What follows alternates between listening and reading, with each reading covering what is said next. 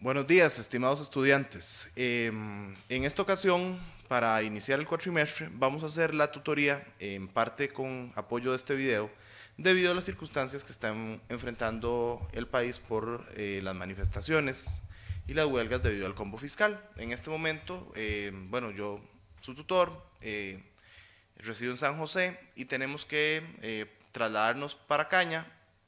para Cañas era pues está resultando muy difícil. Hay limitaciones en el transporte público, tanto en los buses de Tilarán como los de Liberia, y eh, se está tardando demasiado tiempo, tanto en ir como en regresar, debido a los bloqueos que hay. Entonces, debido a esa circunstancia, hemos optado por eh, grabar este video, hacer posiblemente videoconferencia, eh, si fuese necesario, y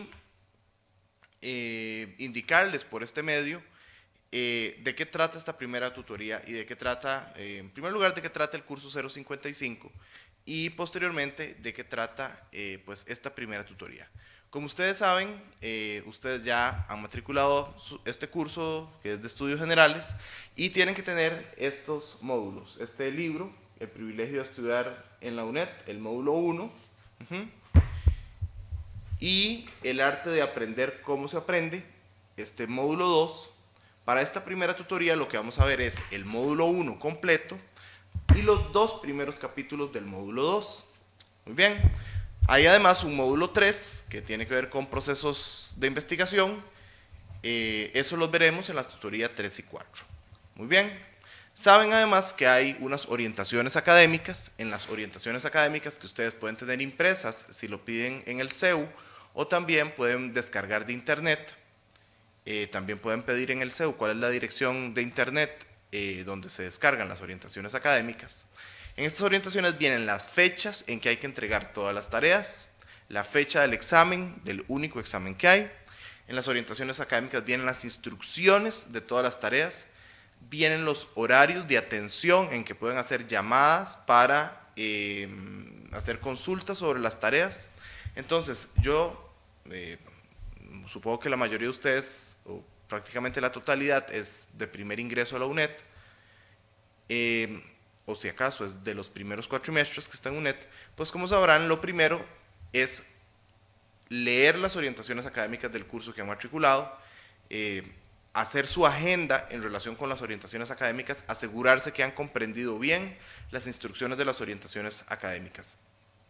Y en función de eso, eh, del conocimiento de estas orientaciones académicas, pues eh, van a organizar su cuatrimestre. Este curso 055 es un curso de bienvenida, es un curso de bienvenida a la UNED. En él aprendemos cómo estudiar a distancia y además em, aprendemos qué son los procesos de investigación que se utilizan en las diferentes disciplinas o profesiones que, eh, pues que pueda estudiar eh, una persona. ¿no? Eh, no, disculpen, no les había dicho, mi nombre completo es David Monge López, yo voy a ser su tutor este cuatrimestre, espero dentro de 15 días estar ahí presencialmente en Cañas. Y eh, en Cañas estaré, eh, estaremos el próximo día, dentro de 15 días, es la segunda tutoría. Y en esa segunda tutoría pues cualquier duda que haya quedado de esta primera tutoría, así como el, eh, así como el eh, material nuevo para la segunda tutoría van a ser capítulo 3 y 4 de este módulo, pues lo vamos a aclarar y vamos a conversar. Entonces, como les decía, en primer lugar, lo que vamos a trabajar aquí es cómo, es, eh, cómo estudiar a distancia y aspectos generales para conocer acerca de la UNED. Este módulo 1 precisamente son aspectos generales para conocer sobre la UNED. Este módulo 1 se refiere a, eh, si ustedes lo abren, el capítulo 1 y el capítulo 2 les habla de cuál es la estructura de la UNED. El capítulo 1 más bien es el que les habla cuál es la estructura de la UNED, cuáles son los objetivos de la UNED, su misión, su visión. Eh, las características de la educación superior a distancia y el capítulo 2 en adelante lo que les habla es cómo armar su proyecto de estudio, su proyecto de estudio profesional dentro de la UNED. Cómo van a planificar su tiempo, dónde pueden hacer consultas sobre las carreras, ¿verdad? Eh, capítulo 3 en adelante les habla algo muy importante, que la UNED, al ser una universidad a distancia, es un lugar donde ustedes van a tener mucha autonomía, mucha independencia. Esto implica una gran disciplina de parte de ustedes. De parte de ustedes va a ser necesario ser personas sumamente disciplinadas porque eh, la materia o la, forma de estudio de UNED implica eh, trabajar muchas cosas a solas, em, muchas cosas de manera individual. Eh, por supuesto hay estrategias eh, tenemos para estar cerca de los tutores, cerca del CEU, cerca de los compañeros. Eh, ustedes, por ejemplo, pueden ir organizando su plan de estudios. Eh, tienen para todas las materias hay un encargado de cátedra y hay un teléfono y un horario de llamadas para cualquier materia que matriculen. Tienen las opciones de las tutorías. En algunos cursos hay la opción de usar el Moodle por medio de Internet, donde tienen que entrar y hacer tareas y donde incluso hay foros donde pueden conversar sobre la materia. Y por supuesto, entre ustedes, algo muy recomendable es que se conozcan, que conversen sobre la materia y pues tengan su grupo en Internet, su grupo de WhatsApp o algo por el estilo para que estén en contacto y conversen de la materia, aclaren dudas entre ustedes, em, así como que hagan otras actividades. El capítulo 3 les habla eh, de cómo se organiza el tiempo en la UNED. Muchos de ustedes ya sabrán que hay semana A y semana B. Eh, este curso, por ejemplo, es de semana B. Dependiendo eh, de la semana, así cambiarán las fechas. Así que cuando ustedes matriculan cursos en la UNED, tienen que saber cuáles son semanas A y cuáles son semanas B. Eh, y cuáles son las fechas de semanas A y cuáles son las fechas de semanas B. Para ahí, ya cuando inician el cuatrimestre están preestablecidas las tutorías de semana A, las tutorías de semana B y están preestablecidos también las fechas de examen y entrega de, tareas en semanas A y B. Por último, el capítulo 4 les habla de los servicios que les da la UNED les habla acerca de los trámites, donde nos informan, donde nos orientan, donde nos guían, donde se recrean, donde cubren sus necesidades como estudiantes, ¿verdad? Por supuesto, ustedes tienen que tener muy claro que como estudiantes eh, tienen derechos. Este, estos derechos ustedes los pueden hacer ejercer por medio de la Defensoría de Estudiantes, también por medio de la Federación de Estudiantes, saben que pueden hacer, formar asociaciones regionales, si no hay forma de alguna asociación regional en Cañas o por lo menos en la región Chorotega, pueden tener alguna forma de organizarse como estudiantes para tener sus propias asociaciones. Em, si tienen dudas con respecto a la orientación vocacional, si tienen dudas con respecto a eh, qué carrera, todavía no han decidido qué carrera estudiar, Em, sobre si van a simultanear estudios y trabajo o si van a simultanear estudios con otra universidad público-privada. Todo esto este, les pueden dar guías em, en los departamentos de orientación y psicopedagogía. En el capítulo 4 les indican cuáles son esos departamentos y cuáles son los números de teléfono. Si ustedes tienen cualquier duda y algo no les queda claro, igual pueden preguntar en su CEU saben que también pueden optar por becas si no han pedido beca y tienen una situación socioeconómica eh, limitada. Entonces, todos estos aspectos se los presentan aquí en el primer módulo. Este primer módulo es un módulo donde te invitan a conocer la UNED, cuál, son, cuál es su estructura, cómo funciona en el tiempo, cómo funcionan los cuatrimestres y cuáles son los servicios y cuáles son tus derechos como estudiante.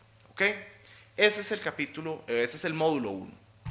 El módulo 2 te habla sobre, o los dos primeros capítulos, te empieza a hablar acerca de cómo estudiar a distancia.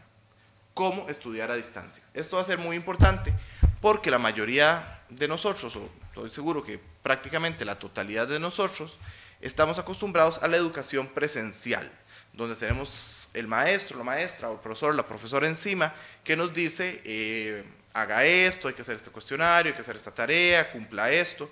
Ahora eso no va a existir.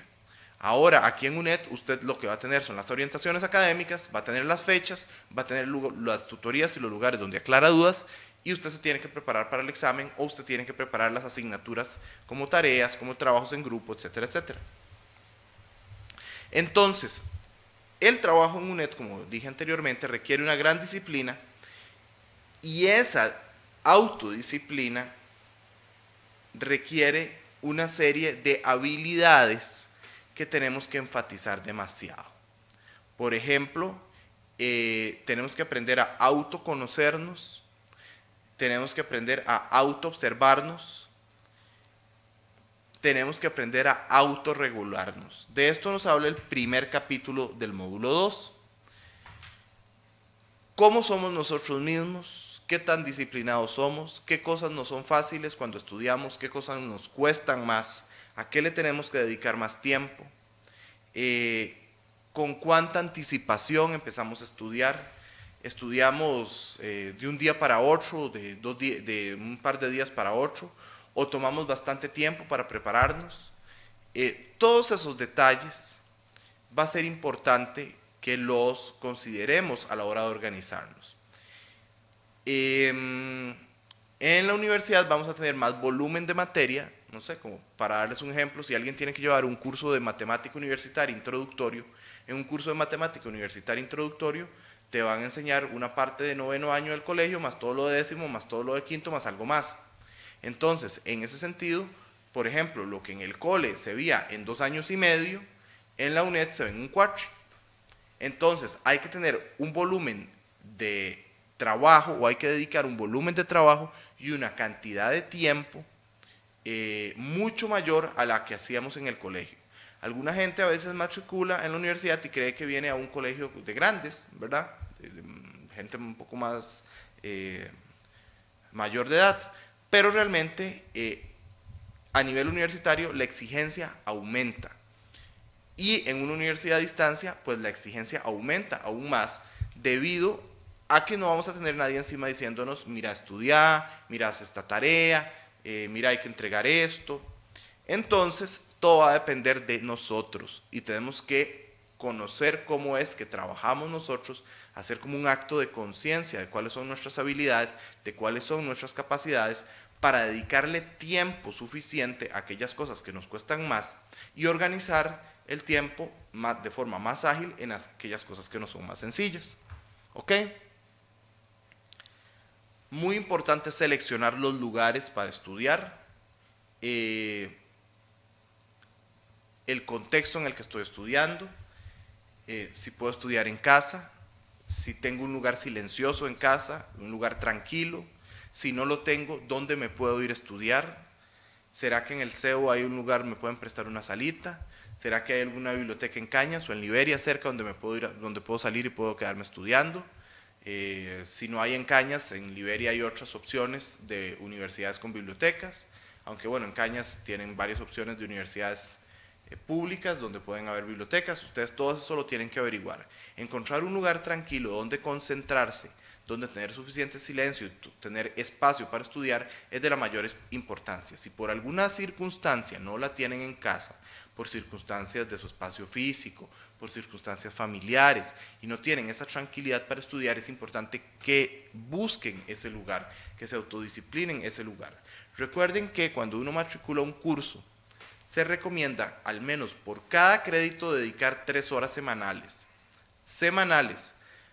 A veces hay personas, estudiantes nuevos, que hacen algo como, bueno, este curso me parece muy fácil y entonces voy a estudiar, mm, hay que estudiar para el examen, entonces voy a estudiar dos días antes del examen. O esta tarea me parece muy fácil, voy a empezar esta tarea tres días antes de entregarla. Si empezamos a hacer esa estrategia muy oportunista, posiblemente no nos va a dar tiempo de hacer las cosas, porque las tareas exigen una revisión de bibliografía, las tareas exigen una revisión, un, un, trabajo de redacción para cuidar que la redacción quede bien, para cuidar que todo sea comprensible, para asegurarme que he entendido bien las cosas. Y los exámenes pues también requieren un esfuerzo considerable en leer muchos conceptos, en aprender procedimientos, en memorizar procedimientos, conceptos, significados de cosas. Entonces, lo aconsejable es estudiar cualquier materia, incluso esta, que es una materia introductoria y amigable, porque esta materia es bastante amigable, aunque eso no significa que no tengan que estudiar, eh, pero para cualquier persona, eh, luego de estas materias vendrán las materias más fuertes de, generales, como son filosofía, como son comunicación y lenguaje, como es historia, y después vendrán las materias de carrera. Por ejemplo, en el caso de gente que estudia, por ejemplo, ciencias sociales, eh, alguien que estudia educación tendrá que estudiar volúmenes grandes de libros sobre educación, sobre procedimientos, metodologías en educación, filosofía de la educación. Si alguien estudia ciencias exactas y naturales, tiene que llevar químicas, tiene que llevar matemáticas, tiene que llevar física mate. Eh, si alguien estudia alguna ciencia económica como una, administración, tendrá que llevar cálculos, tendrá que llevar economía. Em, entonces, eh, esto es una materia de bienvenida para que ustedes se acostumbren al tipo de trabajo que se hace en UNED y en función del tipo de trabajo que hace UNED estén conscientes de lo que van a enfrentar a futuro, con materias que son generalmente más fuertes, con materias que están más llenas de contenidos y que requieren un volumen de trabajo bastante superior. ¿Ok? Entonces, entrenarse en esa autorregulación, en controlarme a mí mismo, controlar el ambiente donde estoy y organizar todo muy bien va a ser de la mayor importancia y con por medio de este curso ustedes van a hacer ejercicios para organizar su tiempo, hacer horarios de estudio, controlar el tiempo para poder sacar adelante sus objetivos. ¿Ok? El adecuado uso del tiempo es fundamental.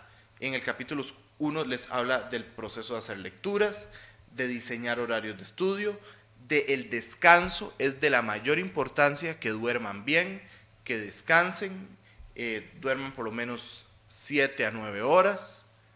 Eh, si ustedes no descansan lo suficiente, no van a poder eh, recordar, la memoria se afianza gracias al descanso. Lo peor que puede hacer uno es, como se dice popularmente, palmarla y no dormir antes del examen, porque usted un examen tiene que llegar descansado, o dejar la tarea para el último momento y palmarla haciendo la tarea, porque en ese momento usted, su cuerpo, al estar cansado, va a redactar, eh, no va a redactar bien, no va a hacer bien los ejercicios. Por eso es de la mayor importancia que ustedes hagan las cosas con tiempo de anticipación. En las orientaciones académicas viene toda la información y les dice, tanto tiempo para en tal fecha se entrega tal tarea, empiecen 15 días antes. Tanto tiempo para eh, tal fecha para el examen, empiecen 15 días antes de estudiar por lo menos. Para que cuando lleguen los días antes, ustedes ya tengan todo estudiado y puedan descansar y puedan ir con la mayor tranquilidad hacer su examen, a entregar su tarea. Ese es el secreto. Eh, es de la mayor importancia. Es muy importante también que autorregulen su alimentación, que coman bien y que hagan ejercicio físico. Esos dos aspectos se ha demostrado científicamente que ayudan a tener una mejor capacidad intelectual, una mejor capacidad que llamamos cognitiva, es decir, de nuestra habilidad para afianzar la información, para aprender, para memorizar. El descanso, la buena alimentación y el ejercicio físico nos van a ayudar a organizarnos y nos van a ayudar a mejorar nuestra inteligencia. ¿Ok? En la página 64 en adelante, eh, con lo que termina el capítulo 1 del módulo 2, les hablan de la sesión de estudio y les enseñan una técnica que es la técnica Pomodoro. La técnica Pomodoro eh, básicamente lo que trata es hacer secciones de 30 minutos, estudiar 25 minutos y descansar 5 minutos, ¿verdad?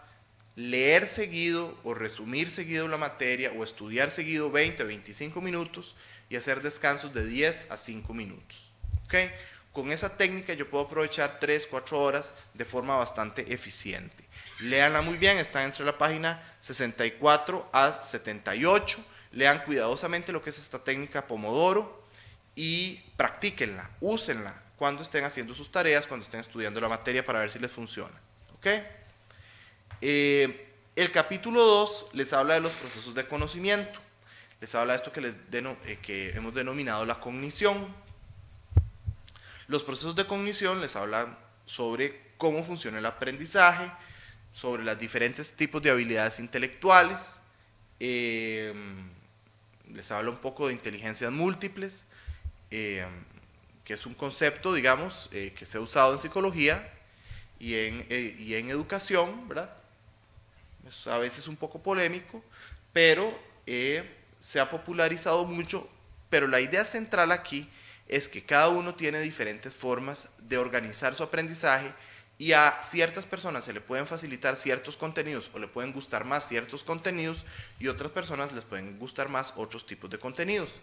Entonces, por ejemplo, a alguien puede gustarle mucho hacer operaciones matemáticas, eh, y por lo tanto después trabajar en informática o en economía. A otras personas les puede gustar mucho leer, leer novelas, y por lo tanto, mira, quisiera estudiar algo de educación y enseñar español, ¿verdad? Y el uso correcto del lenguaje. Entonces, a eso que ustedes sientan como vocación, pues dedíquenle en el tiempo eh, y busquen cuál es la forma en que se les facilita aprender. Y si en algún momento tienen que estudiar algo o tienen una materia donde no se les facilitan las cosas, donde les es difícil, tengan claro que van a tener que dedicarles una mayor cantidad de tiempo a lo que les resulta difícil. ¿Ok? Les habla del proceso de concentración también y de las creencias en la cognición, ¿verdad? Con respecto a las creencias, aquí, digamos, la idea central que yo les quiero transmitir es cuando ustedes, eh, si ustedes dicen esto, eh, no, seguro salí mal en un examen y entonces eh, seguro es porque no puedo, seguro es que no, soy capaz de estar en la U. Si usted empieza con estas creencias de que todo es difícil, de que todo es complicado, de que todo es... y que ustedes no pueden, entonces posiblemente fracasarán, pero no porque no puedan, sino porque ustedes creen que no pueden. Entonces, ustedes tienen siempre que tener una actitud optimista de que sí pueden, aunque les cueste, una actitud positiva y una actitud de trabajo en cualquier cosa que hagan, ¿verdad? A veces las cosas se pueden complicar por el tiempo. Si alguno de ustedes tiene familia, tiene que cuidar niños, tiene que cuidar adultos mayores de la familia, o si alguno de ustedes tiene que trabajar y estudiar, o lleva varias carreras, simultánea carreras con otras universidades públicas o privadas, entonces hay menos tiempo.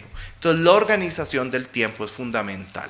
Algunas personas no pueden llevar el cuatrimestre completo, todas las materias del cuatrimestre, entonces tendrán que llevar menos materia. Pero lo importante es que no deserten, lo importante es que ustedes continúen trabajando y busquen un plan de manera tal que aunque duren más tiempo, ustedes saben que van progresando a obtener eh, la culminación de su carrera. Muy bien. Con respecto a los procesos de concentración, esto es parte de los procesos de autorregulación. Entonces, los procesos de la autorregulación tienen, y de la, en específico de la concentración, tienen que ver con eh, la capacidad, digamos, de poner mi mente en blanco, de no distraerme para poder adquirir los conocimientos que me está dando la materia cuando leo o cuando hago prácticas. Entonces, una estrategia buena antes de empezar a leer o antes de empezar a estudiar es hacer un minuto de silencio y tratar de poner la mente en blanco. Hacer un minuto de silencio y tratar de poner la mente en blanco me va a ayudar a evitar distraerme. Las distracciones pueden ser externas, pueden haber distracciones fuera de mí, como ruidos, como personas molestando, como eh, cosas que me interesan, cosas que, eh, no sé, un televisor encendido, o pueden haber también distracciones internas, pensamientos que tengo, eh, problemas personales que me, que me en los que me pongo a pensar mucho, problemas familiares, problemas con amigos, problemas de pareja, que me impiden concentrarme. Entonces, uno tiene que aprender a poner la mente en blanco antes de ponerse a estudiar, para que la materia pueda entrar y uno la pueda recordar en la medida en que va leyendo. Siempre antes de ponerse a estudiar, hagan un minuto de total silencio, siéntense rectos en la silla donde estén, pongan la espalda recta y pónganse hacer un minuto de silencio, total silencio, con la mente totalmente en blanco. Si viene un pensamiento intrusivo, un pensamiento que les distrae, déjenlo ir, déjenlo pasar, como ven pasando un carro por una carretera que pasa rápidamente y se va, no se detengan en él, si hay ruidos afuera, eh, traten de ignorarlos, o bien lo ideal es estar alejado de un lugar donde haya mucho ruido, y cuando ya hayan hecho ese minuto de silencio, cuenten ese minuto en, un cronómetro de su celular, de un reloj, y cuando ya hayan hecho ese minuto, empiezan a estudiar. ¿Ok? Luego viene el tema de la lectura. Y con eso termina el capítulo 2. En el tema de la lectura, eh, les dicen cómo eh, que para leer algo hay que hacer varias lecturas. A menudo, sobre todo si el texto es denso, si es difícil, hay que hacer varias lecturas. A veces puede haber palabras que no entiendo, frases complicadas, eh, expresiones en otros idiomas.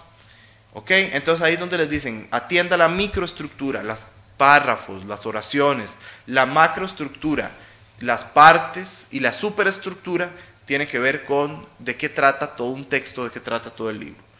La prelectura, lectura crítica y segunda lectura son eh, momentos que eh, le sugieren hacer en una lectura, es decir, cuando uno lee algo, lo importante es, en primero, hacer una revisión general del libro, ver cuáles son las secciones, cuáles son las partes, después leer críticamente y después leer una vez más, eh, tratando de entender mejor.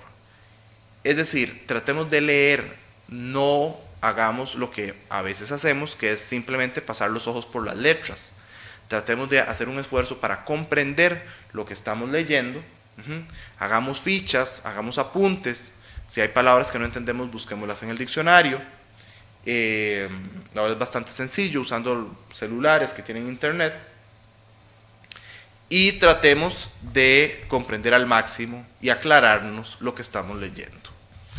Eso sería esta primera tutoría. Les agradezco su asistencia a pesar de la situación que está enfrentando el país. Eh, les pido una disculpa por no haber podido asistir presencialmente. Espero verlos en 15 días. Revisen muy bien sus orientaciones académicas. Las orientaciones académicas les indican cuándo hay que entregar la primera tarea. posiblemente podemos hablar de esto dentro de 15 días. Eh, tengan muy al tanto el teléfono y el horario de atención a estudiantes. Eh, al que pueden llamar. Y pues por el momento es todo lo que tengo que decirles. Eh, les doy la bienvenida a la Universidad Estatal a Distancia. Esta es su casa, esta va a ser su alma mater. Esto es una inversión que hace el país en ustedes, para ustedes, para que ustedes tengan las oportunidades de estudiar, eh, de continuar su formación educativa. Es una universidad accesible, barata, que llega a todos los rincones del país para cualquier persona que la desee. Eh, pues estamos para servirles, nos veremos dentro de 15 días y muchísimas gracias por haber asistido a esta primera tutoría. Muy amables.